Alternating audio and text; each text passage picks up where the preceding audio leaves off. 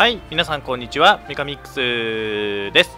ファイアーエンブレムエコーズではやっていきたいと思います。えー、っと前回恐山の祠が、えー、終わったところになりますのでえー、っとこのままアルムで、えー、ヌイババの方に突っ込んでいきましょう。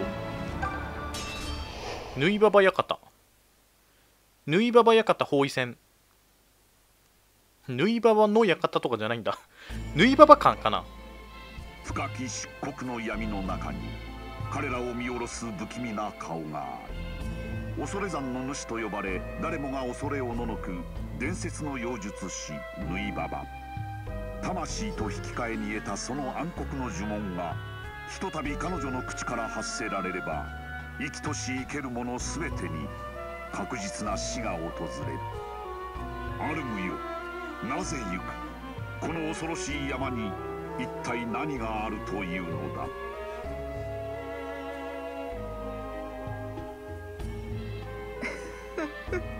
いらっしゃい。解放軍の皆様歓迎いたしますわ。お前が縫いババか。セリカはどこだ？セリカ？何のことかしら。私はあなたが心に思うものの姿を見せてこの館に導いただけよ。なんだと？やっぱり罠だったのか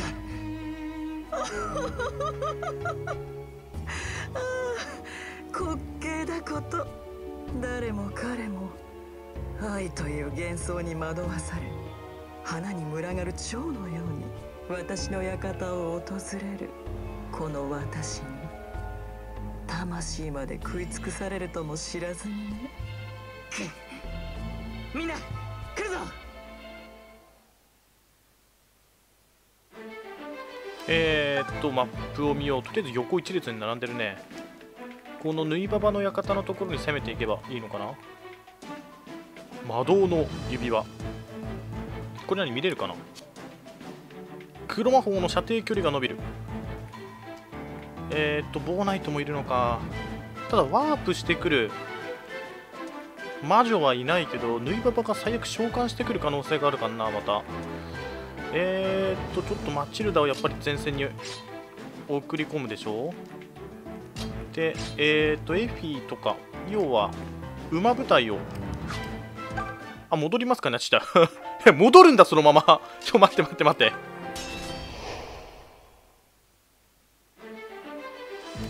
縫いババからすればあいつはなんで戻ってったんだって。なるよね。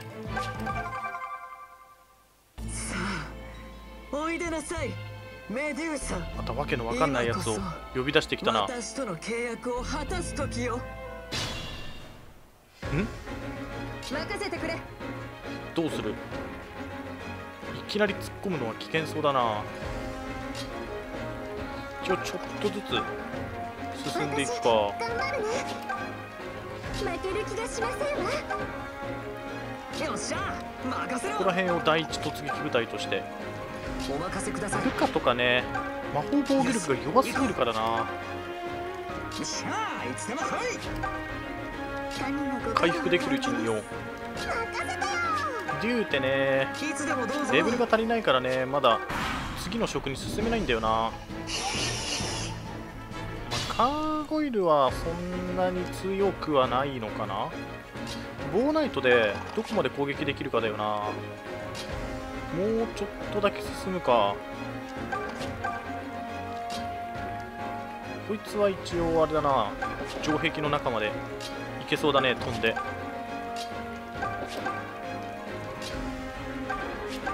あとはちょびちょび前進していくか。固まりながら。よ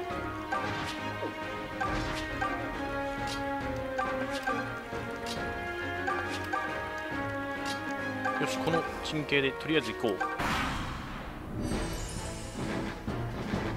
まあガーゴイルは適当にあしらっとけば多分大丈夫だとして。えー、っと縫いババがうおそうか射程がめちゃくちゃ長いのか。ちょっとこいつのこいつだけの射程見れるね。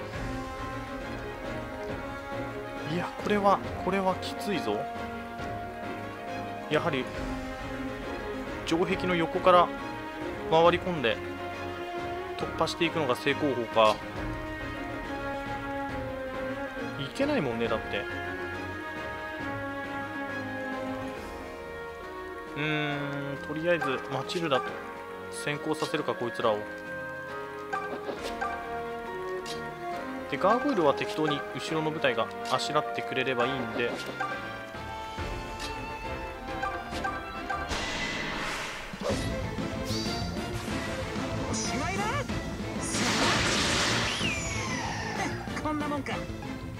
レベルアップ。うーん。ラックしか上がらない。切り抜け。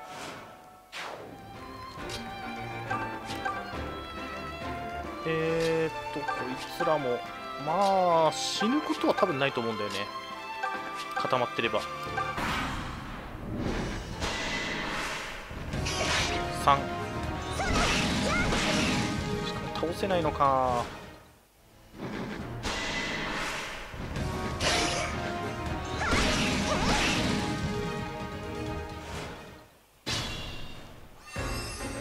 回復いいね。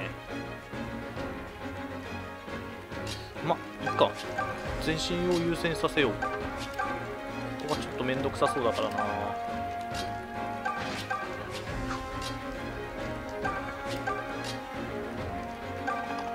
突き進む。とりあえず突き進むぜ。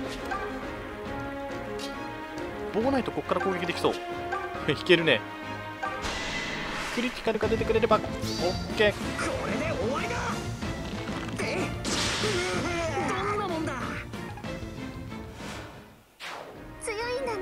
城壁の周りにいるやつはボーナイトでなんとかなりそうだな。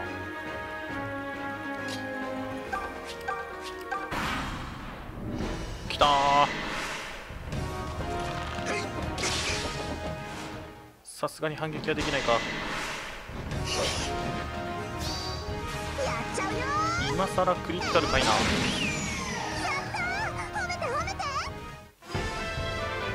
次の職まではあと1レベル。こいつも早く上級職になりたい。僕に勝とうなんて100年早いよ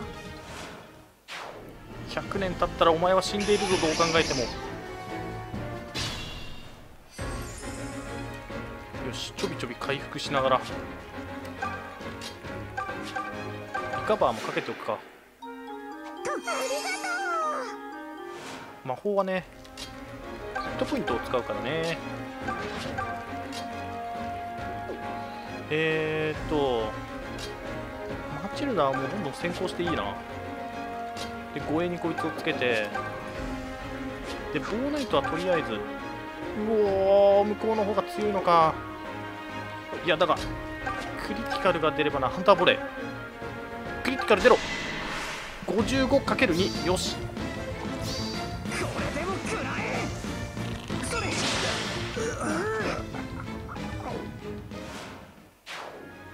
厄介な敵を倒したな。うおガーゴイルがいるからかすんげえ敵がいるな。こ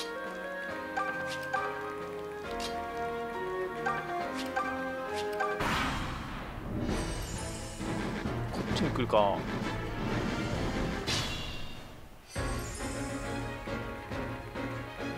さてさてさてまずはちょっとギリギリのところに置いておこう。でこいつはここから攻撃ができるからな。何かされた？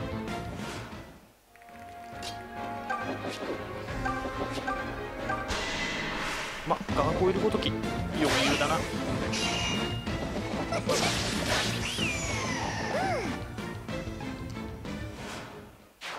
まあガーゴイルはね大したことないからまあ多分ちょっとほっといても大丈夫だと思うんだよね。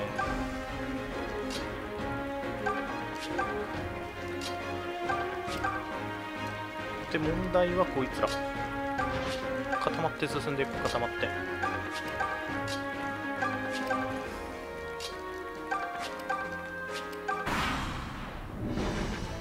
っちに来るか。こんな接近されたところから。あいつにはいや負けねぶち抜くのか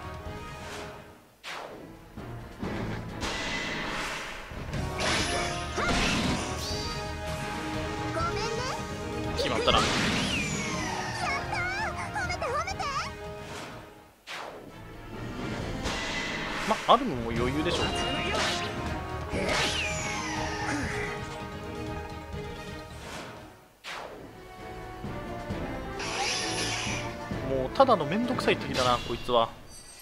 回復さてこっからどうするかだよね。縫いババ。ちょっと待ってね。ハンターボレーをやっぱりね打ち抜ける位置に行きたいからこことここに配置をしておこうとりあえず。でこいつもギリギリのところまで行くか。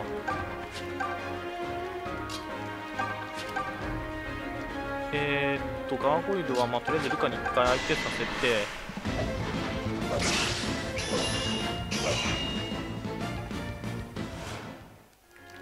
でこいつで倒して。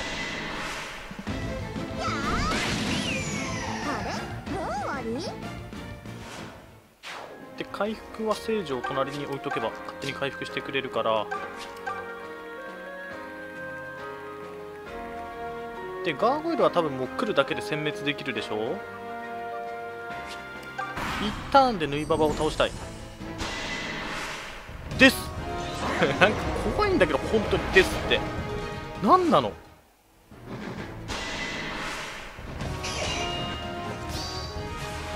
行くぜ一回のロビンもな回復させたいんだよな。よしやったぞ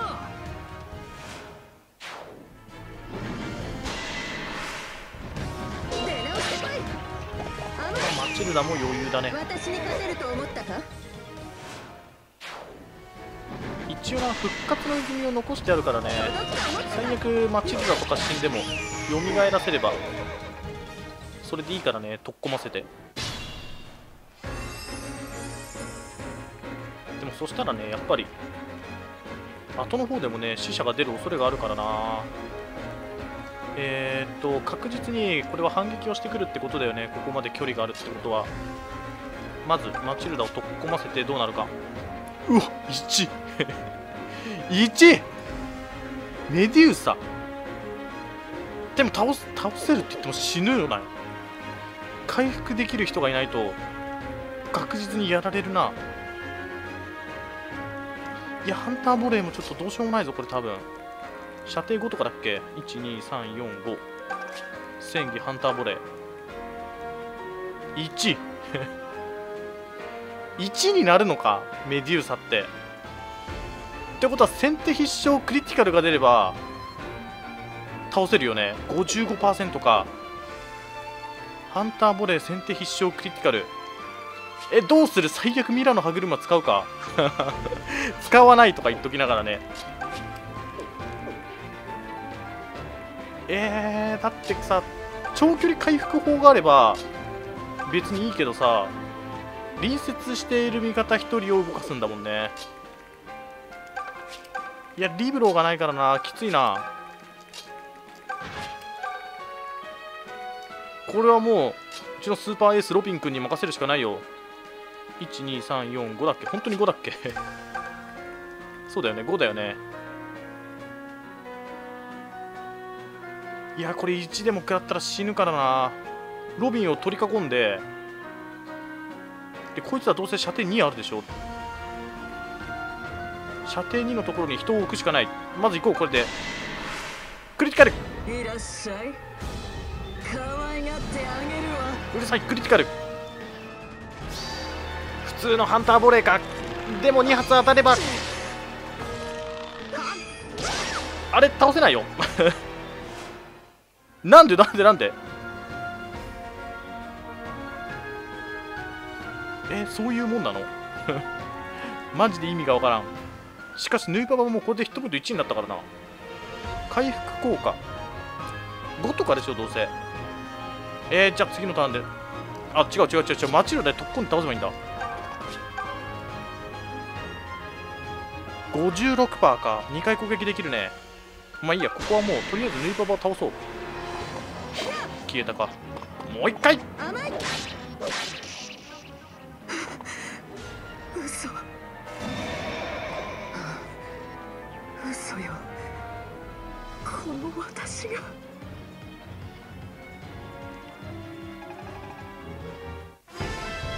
いやーとりあえずなんとかなってしかもめちゃくちゃ上がるな。マチルダとかってマジ強えんだけどよし魔導の指輪を手に入れた。やったー。えー、あとはまあ大丈夫だと思うんだよね。あんまりちょっとグレーも前に出すのは危険か。後ろから行こう後ろから。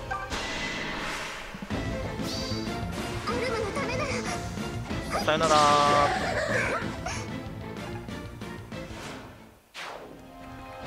えーっと回復させたいね回復を。んまあ一応ここら辺に置いとく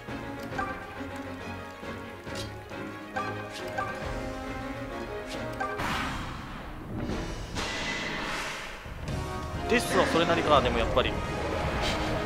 ただ当たらないんだねですって。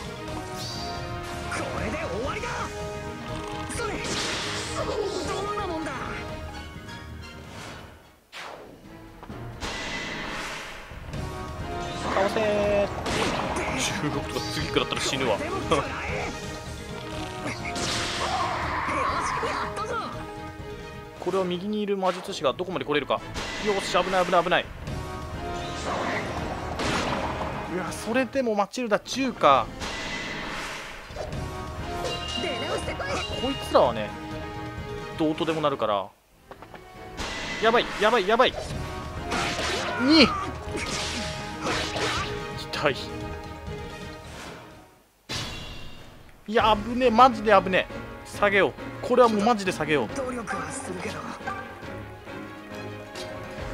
そうまったく。この祈祷師も邪魔だからな。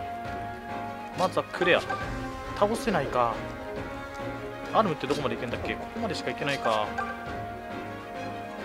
当たるかなちょっと待って。クレアを前に突っ込ませようう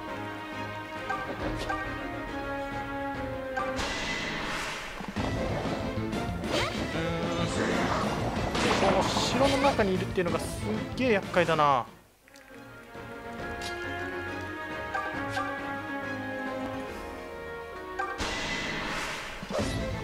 よし。おしまい。頼りになりますわね。で祈祷師って攻撃してくんのこいつ。スライム持ってんな。えー、っとねどうする？ちょっと一回アルムをここにやってでこいつはここにいると補正受けられるから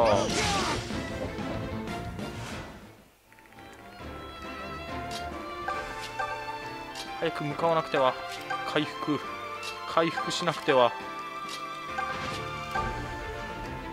マチルダをどうするかな？こいつは多分ねガーゴイルを呼んでくると思うんだよね。ガーゴイルくらいだったらな多分なんとかなると思うんだけどな。回復ポイントにいようこいつちょっと。よしこれでいこう。こっちに来るか。4まあそうだよね。ちょっとこのガーゴイルは今回仕方がない。でででよ大丈夫だよ。クリティカルさえ出てくれれば。うーん25%だからな。そっかこいつは。両方とも攻撃ができるのか。魔戦士やっぱり強いね。これでどこまで回復するリカバー？19助かったいや回復値が微妙だこれもう一回回復させないと無理だな。聖女の隣にいるからとりあえず回復はするか。でクレアもちょっと回復ポイントに置いとこう。グレーもここに陣取ろう。よしこれでいこう。帰ってった。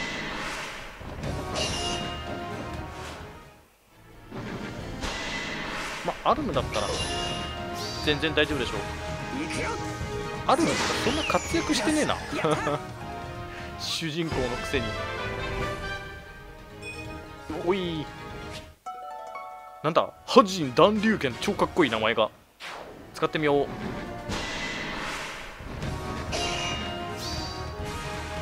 れで決める。そう。ヒカルは出るね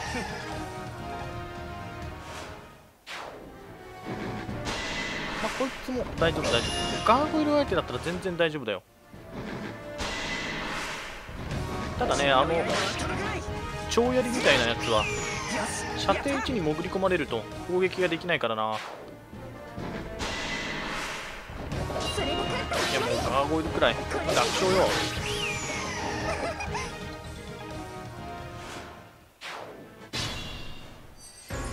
でこれで回復してのそこからリカバーをかけてよしこれで突っ込ませよう。えー、アルム一応ここに行くか。67あーたれ。よし。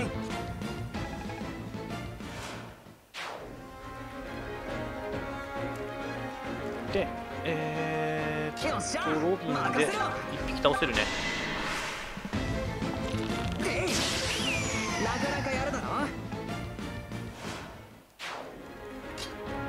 でこいつで倒せる倒せない。クリティカルが出れば倒せるけど微妙な感じだな。まあいいや攻撃しておこう。しかもかわされた。サウニオン。あっていうかこれあれか。本体倒せばなんとかなんのか。うーんとまあやっぱりまあまずはマチ任ルダを突っ込ませるか。53%とかな感じね。よしよしよしようとあとはこのわけのわかんない。動脈強弾もう一回。いや無理か。めんどくさいぞこれは。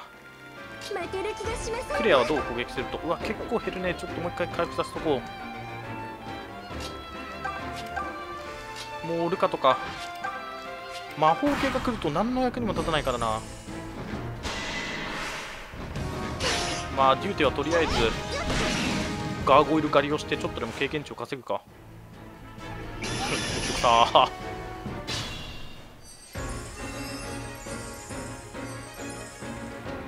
えーと経験値を稼ぐと。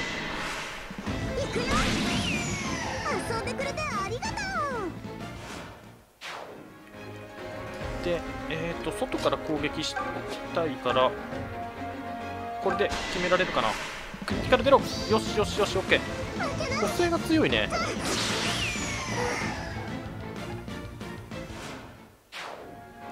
で、えー、とこれで上と下から攻撃ができるか、まあ、まずはマチルダを突っ込ませよう。戦技。獅子王の構え。強力な一撃。必ず5点になる。必殺プラス50やるとどうなる？てかさ普通に攻撃でよくね？2回攻撃ができるからね。悪く思うな。いける。誇りにかけて。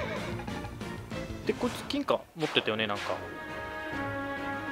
よしよしよし。金貨はね武器を鍛えるのに貴重だからね。よし。敵の数多すぎだってガーゴイルが多すぎだろいやーなかなかにきつかったね。えーじゃあそのままちょっと、えー縫いババの館の内部に行きましょう。てか縫いババ倒してさ別に何も言わなかったんだけど。えーっとなんか普通に女性とかいるよ。えあなたベルクト様に会ったの？いいなあ素敵よねベルクト様。リゲル中の女性の憧れの的なのよ。まあリネア様と婚約しちゃったけど。うんやはり結婚っていう情報が流れるとあれなんだね。リゲル中から若くて美しい娘を集めていました。そして自分の若さを保つために魔物に捧げていたのです。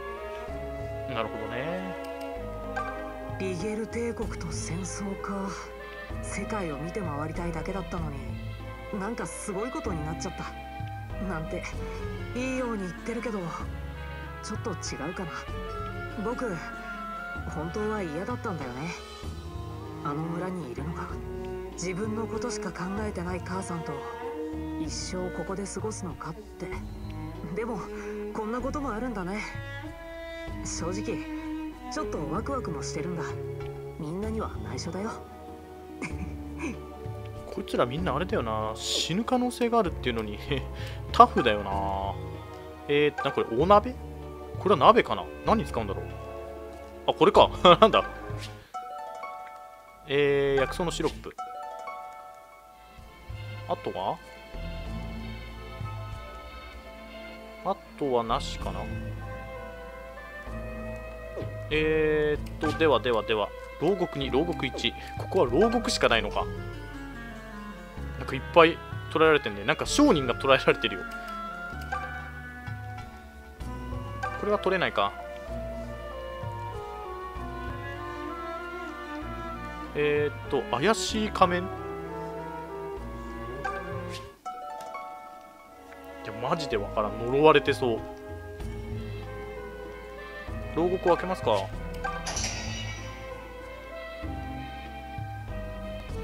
旅の商人がいっぱいいる。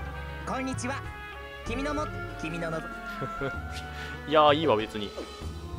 一応じゃあ商人がここに3人いるということを覚えておきましょう。えー、っとなんかいるね。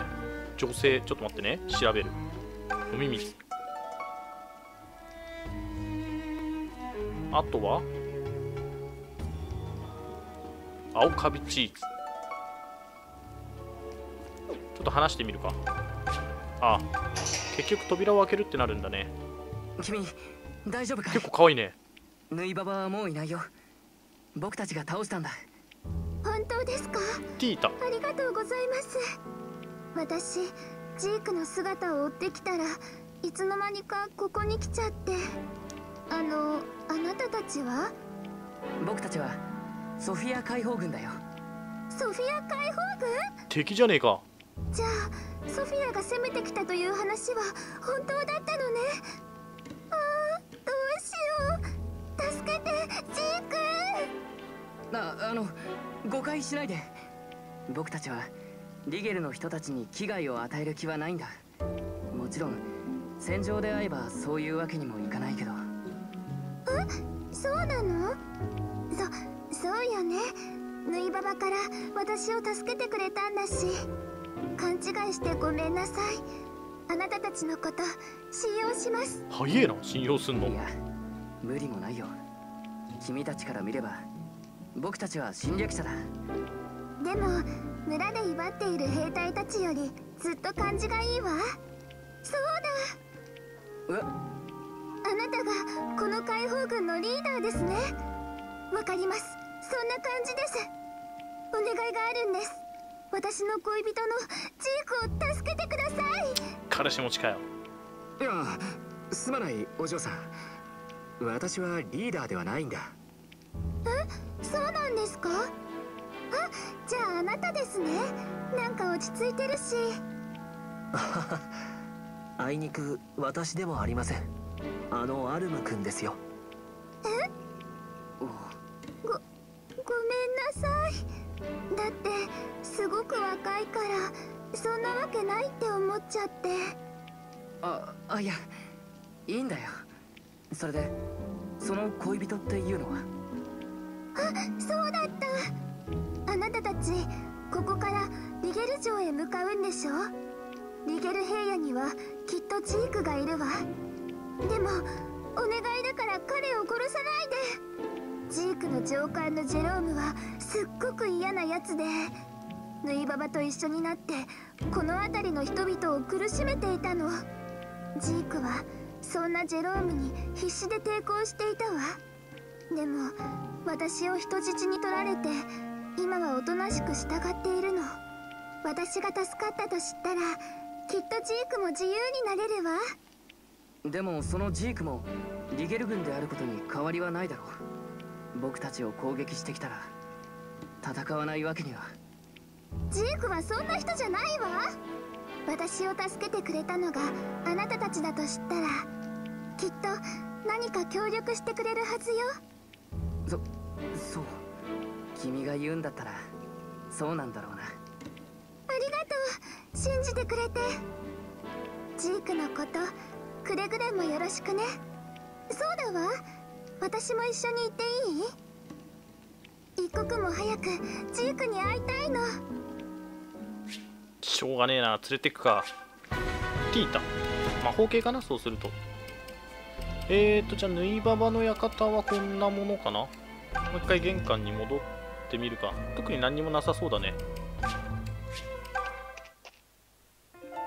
でえーとジークはこれか。なるほどなるほど。ジェロームえーというところでじゃあ次もまたこのまま進んでいきますか。えー、アルムはもうちょっと進んだ方がいいかな。シェリカが結構終わりそうだからね。えー、というところでじゃあ今回はこれで終了したいと思います、えー最後までご視聴ありがとうございました。チャンネル登録 Twitter のフォローしていただければ幸いです。